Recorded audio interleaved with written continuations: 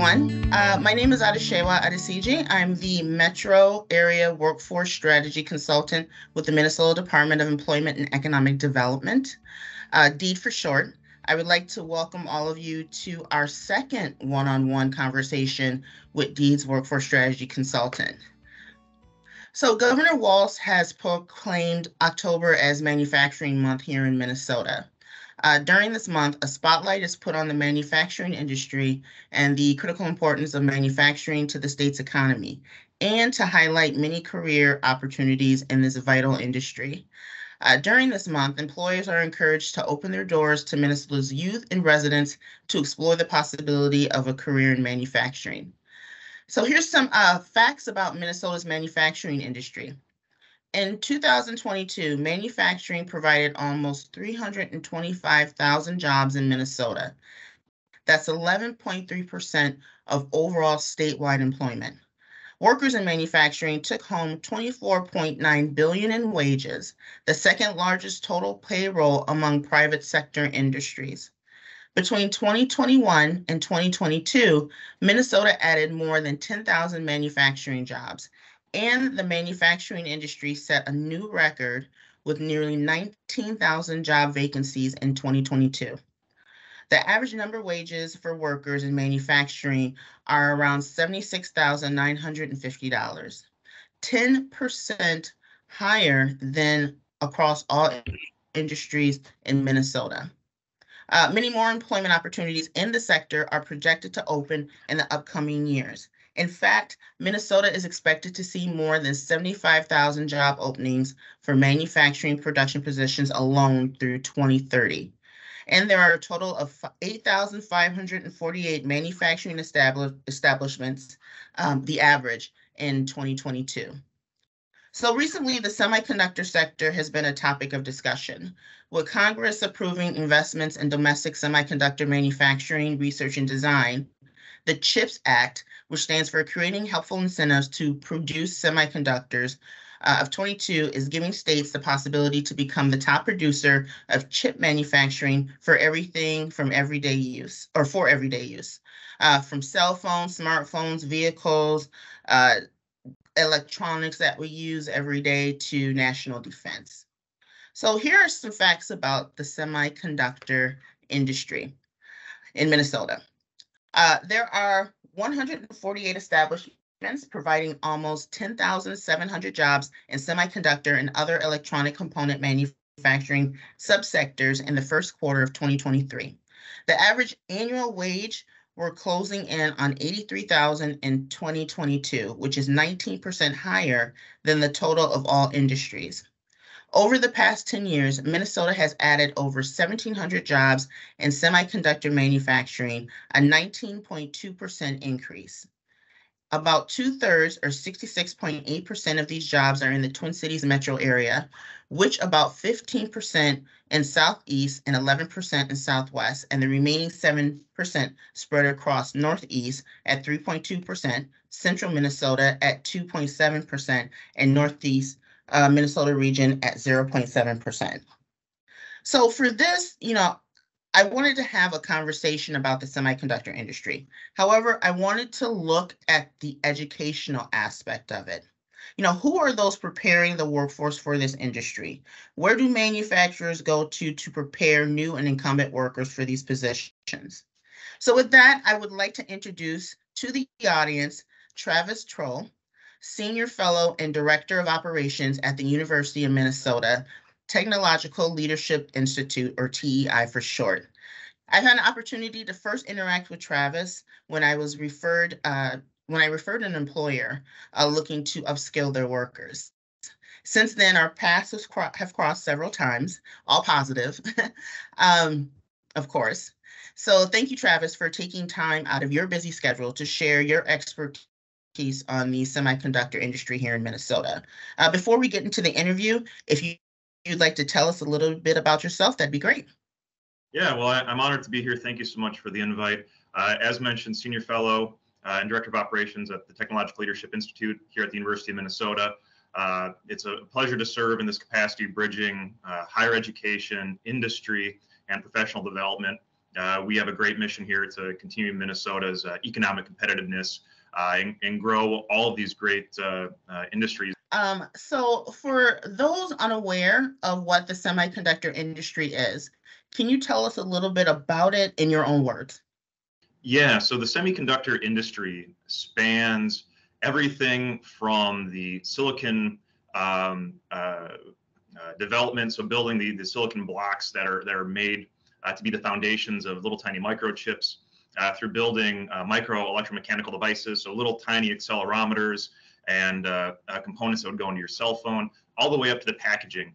So typically, you don't see a uh, semiconductor necessarily. When you look inside of a computer, you see the uh, plastic packaging around it on top of the uh, overarching circuit board. So the, the great news is, is Minnesota really encompasses a huge swath of that entire uh, semiconductor manufacturing pipeline. And it's our goal to make sure that that entire uh, ecosystem has the human capital it needs to be successful and grow. Nice. So, you know, I read somewhere that manufacturing uh, semiconductors for a while was stagnant. Mm-hmm. Um, it wasn't, you know, a focus for the U.S.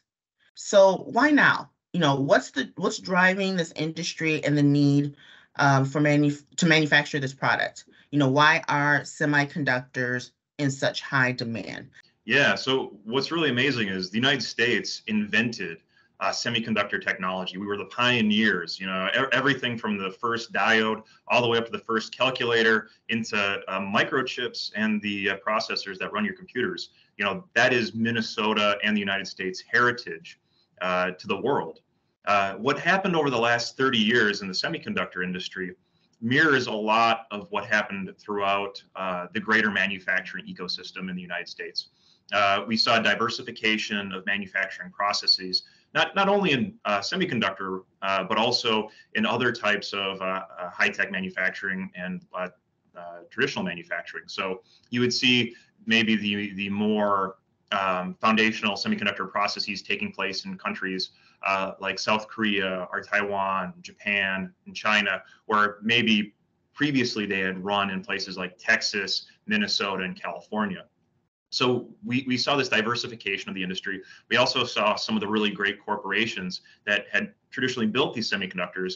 You know, IBM, which once had I think 12,000 employees in Minnesota, um, start spinning off the fabrication processes to corporations such as Global Foundries. So they become what's called fabless. They do the design and engineering, but then the manufacturing is is spun off by these third parties, almost like separating the, the peanut butter and jelly from a peanut butter and jelly sandwich.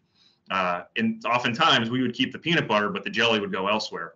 Uh, so we, we saw that take place over the last 30 or 40 years, which you know has pros and cons. But the end state of that was the United States lost its position in that manufacturing world, which had second order effects in the engineering world.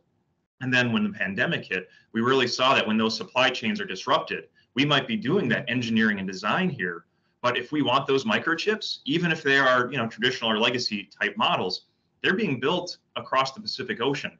So when we want to manufacture the next Ford or Tesla, that's great. We can get a good amount of it put together. But if it doesn't have those microchips from Taiwan or South Korea or Japan or China, it's not going anywhere. So these microchips, these semiconductors, which are critical to the technologies that underpin modern life and which used to be really built here in the United States, are now being built elsewhere that that then has those impacts that it holds our economy in a position that we are really dependent upon these other players, which has a multitude of effects, some of them which inhibit our ability to be as innovative and successful and economically viable in the long run. So the CHIPS Act is a great tool in saying, hey, we want to put that peanut butter and jelly back together. We want to have that whole sandwich here in the United States because if we can make that whole sandwich here, we can feed a lot more people and it probably tastes a lot better. You know, I, I, I have to say before I go to the next question, I love the using the peanut butter and jelly sandwich analogy, and and I think that that makes sense. You know, you want you know, we want to make the peanut butter and jelly sandwich here, and we know that we can make the best peanut butter and jelly sandwich. So I mean, it's a great way to to put it, and I think it it makes it better to understand. You know, better for our audience to understand why you know why the focus now why it's in high demand uh, you know going from something that was stagnant and we didn't really think about to, okay, we really have to start looking at ramping that up and like you said putting you know that manufacturing the peanut butter and the jelly you know in house and combining it so we can have the best sandwich in the world. So i like that. Uh, thank you for that. Um, so next question is uh, according to manufacturers the uh, top four critical occupations in semiconductor sec uh, in the semiconductor section um, are operator uh, technician engineer and software engineer um, what would training look like for these occupations and how would someone get started? So now Yeah. as, you know, wanting to get your perspective as an educator in this space, um, how, what is your answer for that? Yeah, so the great thing about working in the world of technology is it's it's really a, a ladder type system. You can come in as an operations professional and through the right combination of work experience and education, you can work your way up that ladder to really be an influential technology leader at any of our semiconductor corporations. So if you're if you're a young person or you're looking to transition from a different industry, you can come into the semiconductor world, work as an operator uh, with with some uh, foundational technology training, maybe an associate's degree, uh, and some on-the-job training. We're currently working on asynchronous upskilling training.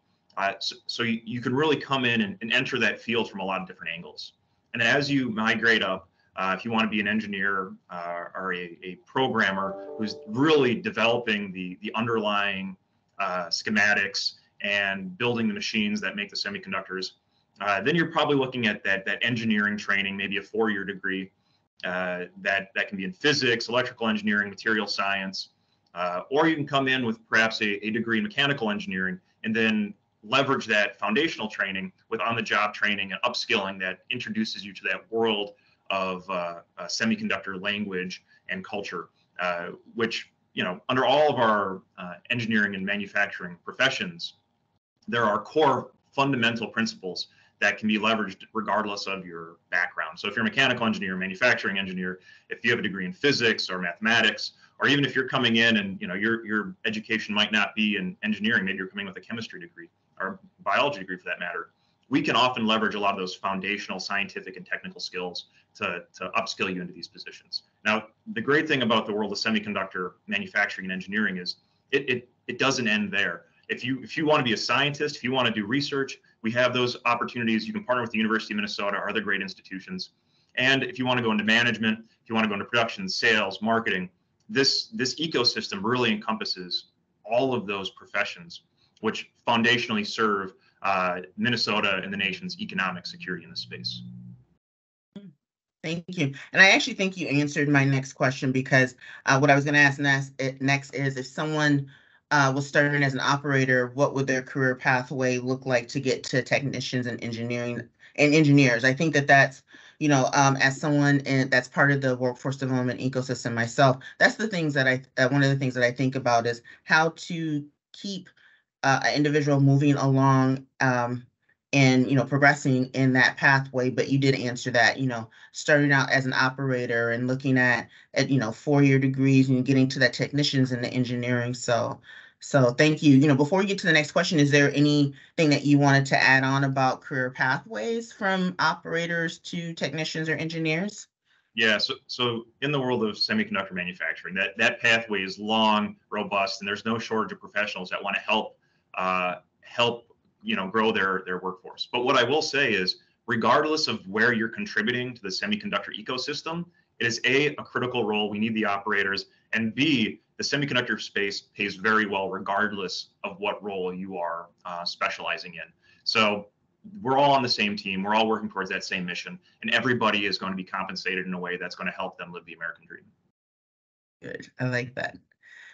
All right. So um, many manufacturers feel there aren't enough skilled workers. Um, you know, as an educator in this space, do you agree? Um, you know, what are the challenges that require collaboration from companies, education institutions, and other workforce uh, entities to resolve this? So where I'm getting at is, you know, I'm a, a firm believer that, you know, to make workforce development work and be successful, everyone needs to meet in the middle. So that is the employers, the educators, the you know government, um, you know DEED representing government, um, other you know workforce resources that are available out there. everyone needs to meet in the middle. Um, you know, since we're talking about analogies, you know, I love the, your peanut butter and jelly analogy. I always think of it as, you know, a, if a table, and each group represent a legs, a, a leg of the table, a four-legged table. If one is short, shorter than the other, if one is skinnier and not as sturdy, you know, the table is not going to be firm. It's not going to be a strong table. Um, and, and so this is the same with, you know, workforce development all all of the parties need to meet in the middle and really put some skin in, skin in the game to make this work. So once again, you know, what what are the challenges that you think that's going to require? Okay, everyone needs to collaborate. Everyone needs to work together to resolve this um, issue of not enough skilled workers. Yeah, so, so the really good news is that right now Minnesota has an unemployment rate, I think, like 2.5%, something unbelievably yeah. ridiculous. So yes. that's, that's great news, uh, especially for our, our you know, our, our, our professionals working across the state. Uh, the downside is, is as you say, our resources of human capital are strained really, really tight. And that really makes it hard for our, our semiconductor manufacturers in the greater economy to continue to grow, continue to be competitive, and to lead the nation. So from where I sit in higher education, what I would advocate for and what we've seen success with is bringing those employers together and one, uh, using their professionals to help us inspire that next generation of professionals. If I can get a engineer from Polar Semiconductor to come speak to my uh, classes, give guest lectures, do field trips to these semiconductor fabs, that's a great tangible way for our students uh, to feel empowered to pursue these careers. And what often goes underappreciated is so many of those young people, especially on the left side of the socioeconomic bell curve, the idea of working at a place like Polar Semiconductor and building semiconductors is almost intangible, unimaginable, because it's outside of what they know in their everyday experiences. So by empowering these young people to see that these are realities, by lowering the barrier uh, to education in the state, that's huge. And I, I, think recently the state of Minnesota has really appreciated that and is, is going a long ways towards that. Uh, the other side of that coin is taking folks that might be working in industries that uh, are, are contracting or being replaced by newer technologies. So how do we how do we take those workers and reskill them, upskill them, and get them speaking the language of semiconductor manufacturing? Well, that's another great place where the Technological Leadership Institute indeed comes in, saying, hey, not only can we give you the new skills, allow you to speak that language, but likely give you a pay bump. That's somewhere where we can can really work together to, to serve the common need. And then if, if I were to say a coin has a, three, a third side, maybe the, the kind of the rough part around the edges, it's how do we continue to communicate as a community, as a state, that there are humans across the country and the planet that want to come here want to work. So you were talking about, um, you know, focusing on youth and, and you had mentioned youth and, and reaching out. Um, so the next generation of workers, we all know are going to be more racially and ethnically diverse um, than today's workforce and workforce, and of course, you know, uh, the workforce of the past. So this means that manufacturing, like all other industries, will need to tap into groups that may not have been previously targeted for recruitment. So in 2021, the manufacturing labor force in Minnesota was 83% white, non-Hispanic or Latino, and 52% male uh, manufac- uh, manufacturers, educational institutions, and other organizations, you know, are working together or starting to work together to provide an entry into the manufacturing industry for youth um, from Black, Indigenous, and people of color communities, so from BIPOC communities and other diverse backgrounds. So every, everywhere from K through 12 to post-secondary education, you know, what are your thoughts on how educators can prepare and engage the future workforce for this industry? Yeah, so so I think culturally, we as Americans often think that that these big questions can be turned around in 12 months, 24 months on election cycles. We, we can fix everything. I, I really think the reality is with this tapestry of Minnesota and the tapestry of America that we need to empower to, to help serve in these different technical capacities, we're looking at a generational conversation. So I, I look at uh, 3M did a great job back in the 50s and 60s where they they expanded their manufacturing footprint across the region. So they went into these communities that may have been socioeconomically less prosperous, let's say, than the metropolitan area, and they empowered and and gave these um, community members opportunities to grow in their professions while simultaneously allowing people on that uh, left side of that socioeconomic bell curve the visibility that wow these are opportunities. It's not just a something i see on tv you know when you watch pbs and you see that white guy in a lab or that white the, the guy in a white lab coat um, it's not just tv that's reality that can be that can be anybody so I, I think one way of having that conversation is saying look this is going to be a 10 or 20 year process to, to really achieve that high return on investment. So how do we reach these communities? Now, the good news is um, so many of these uh, communities that we want to uh, empower and, and continue to bring into the fold aren't necessarily in uh, far uh, far-flung parts of the, the state, though there are definitely uh, folks out there. But we can do a lot of good here regionally and uh, make sure that we have transportation resources. And Minnesota has been investing in that greatly, making sure we have childcare services And Minnesota has been investing. Uh, so then the, the final the final I guess nugget of that thought process is how do we ensure that folks in these other communities that that haven't maybe prospered uh, uh uniformly with the growth these corporations can do so. Well, I think that's you know part-time employment. That's making sure that we are able to take advantage of the human capital while simultaneously understanding that these are people and people have kids, they have other obligations, and we cannot be successful as an industry, as a community, as a nation if we aren't working hand in hand to know that our, our organizations, our industry is only going to be as successful as our community members. In order to do that, we have to understand that it's a multi-variable equation. We've got kids, we've got education, we got to make sure that there's that visibility. So I, I think Minnesota is doing a great job, and I look forward to helping you know continue that over the generation because that's what it takes. Yes, and we are excited that you you're passionate about this, um, you know, about this industry, about outreach to, um, you know, your thoughts on outreach to BIPOC communities as someone from the BIPOC community myself. Um, and you hit the nail on the head. I mean, it, it it it's, you know, there's that saying Rome wasn't built in a day, neither is this, but it's it's moving forward, it's continuing, it's acknowledging that um, more outreach, more career exploration, more opportunities need to be shared with those uh, communities, with the BIPOC communities, with other underrepresented communities. And that could be, um, you know, um, the disability community, it could be second chance workforce. You know, there are individuals in those communities that can be just as successful in a in a manu in the manufacturing industry in a manufacturing career than you know just like everyone else. So um thank you for that. Um so we, we, we talked a little bit or you mentioned a little bit about ai so um i want to ask you this question. Um so i think if i have this right so the process of creating semiconductors involves taking like thin uh silicon slices or called wafers and spending months getting them like engraved and printed. Is that correct? Yeah, yeah, yeah. So it's okay. typically silicon, but there are other types. Um, okay. And there's chemical and uh, optical and technical processes that are basically applied to these uh, semiconductor silicon wafers. Uh, and then through that magic, uh, they become microchips or tiny little microelectrical machines or other types of components that make our cell phones, computers, and cars work. Okay. So, so from the research that I did, but you know, prior to this this this interview, um, doing this requires the use of AI or some use of AI. So, you know, as you know, there's been talk about the dangers of relying too much on AI.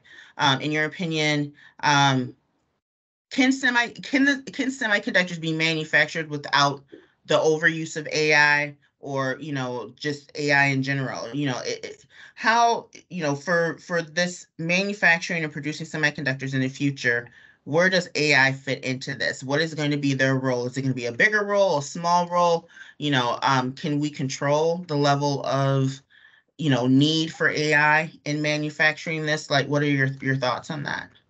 Well i did just watch the terminator so i feel pretty comfortable speaking about this.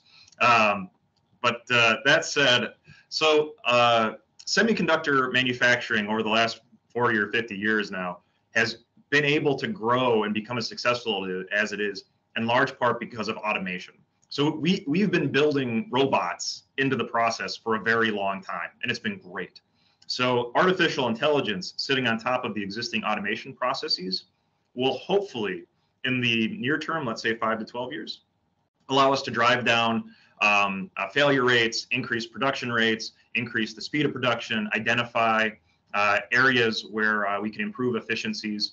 So I, I think we'll see a lot of, you know, and a lot is relative, but we'll definitely see movement in making our processes here more competitive. The better AI that we have embedded into these systems, the more competitive our manufacturing is going to be, which is going to be good for our economy and our employers and our uh, professionals working. Uh, in the long run, uh, do I see, um, you know, Arnold Schwarzenegger's robot, you know, running and building um, semiconductors all by himself so that my, you know, you, you put Arnold in one end and you get a semiconductor in your cell phone out the other end? I don't think we're going to get there. I think uh, what we've seen over the last century is that as we put more technology into manufacturing, uh, we don't we don't necessarily decrease uh, the amount of human capital we need to make it successful. But what we do is we translate the type of training, education, experience our team members need to help us continue to, to grow that technology and make it more successful. So I, uh, on the whole, uh, I, I have a very optimistic outlook on how artificial intelligence helps our local and national semiconductor manufacturers grow and be more competitive. Okay. So two things from that. One, not to be afraid of AI, but embrace it. Um, it's not going to get to, like you said, you know, where in the future we're going to have Terminator like robots uh, running everywhere. And two, now you make me want to watch Terminator again. That's one of my favorite movies. So now I'm gonna have that on my list. Before this weekend, I'll watch it again. So thank you. um, so two more questions before before we're done. Um, uh, what what is the future for the semiconductor industry in Minnesota? Yeah. So if I if I were a king for a day, uh, what I would see is one the continued growth, sustainability, and success of our existing semiconductor ecosystem. And that includes everybody from the, the folks making the, the actual diodes and microchips of Polar Semiconductor and Honeywell to the folks making micro electromechanical systems, little actuators uh, such as Collins. I, I want to see the continued growth of the folks that integrate these uh, small technologies into larger systems. So the circuit board manufacturers, Benchmark Electronics, there's a lot of circuit board manufacturing both in Rochester and Winona. They're a great corporation. Uh, and see that these companies are growing and are sustained. On top of that, my second order wish is that we really become that beacon for the upper Midwest and the nation and you know the world, to be honest, that brings in people that want to work, want to live, and want to contribute and be part of our global economy here in Minnesota. Because there's no better place to do it. Uh, we are beautiful. We have the the best higher education. Uh, we've got the best jobs. We've got you know Lake Superior and the lakes, uh, and we have Minnesota DEED helping us lead the way. So I want to see that be the reality for from not only myself but my kids and hopefully their kids. And so, last question before we end. What else do you want the audience to know about the semiconductor industry in Minnesota? Your thoughts, uh, what you like, what you don't like, where you see it going, where you want it to go. You know, what are just what else? What else do you want the audience to know? So the first thing I want the audience to know is that semiconductor engineering, design, and manufacturing is imperative for Minnesota and the nation's economic and national security. Having uh, that competency and capability is something we need to continue to grow as a nation and to be successful throughout the 21st century. Very important. The second thing I want your audience to know, and this this really harkens back to uh, you know how do we ensure that everybody can contribute to this really cool pipeline and that's I want everybody who sees this to talk to their kids, talk to their nephews, nieces, anybody who who is trying to figure out what they want to be in life, what they want to do in life, and let them know that anybody, uh, given the education, the drive, can work and contribute in the semiconductor world. It's really cool. It's a great culture. It's a great community. And it might be intimidating when you watch PBS and you see the guy in the white lab coat talking about, you know, how do we build the next quantum computer? But the reality is, those people that are building it are no different than you and me and the folks that are um, around us. And that's Minnesota, and that's how we make, you know, the technology of tomorrow. And with that, we are at the end of the interview. I'd like to thank the audience. Once again, thank you, Travis. And you guys have a good rest of your day, rest of your week, rest, rest of your month. Until next time. See you. Thank you. Bye bye.